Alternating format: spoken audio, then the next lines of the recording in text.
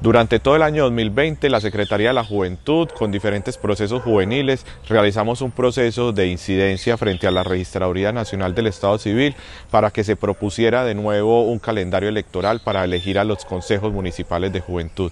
Para nosotros ha sido muy importante que se haya reactivado el Consejo Municipal de Juventud. Se realizará las elecciones el día 28 de noviembre. Una invitación a todas las juventudes. Tendremos tres procesos. Un primer proceso que consiste en el registro de los documentos de identidad de los jóvenes de 14 a 28 años. Tendremos también un segundo proceso donde se recolectarán firmas con formularios que pondrán a disposición la Registraduría Nacional del Estado Civil y un tercer momento donde los partidos y movimientos políticos podrán darle la posibilidad de inscripción a las juventudes de la ciudad de Medellín, un llamado para que participen. La Secretaría de la Juventud considera que este es un momento de llegar a acuerdos populares, hacer diálogos de ciudad, encuentros ciudadanos, para que la participación ciudadana Ciudadana Juvenil proponga la agenda de ciudad.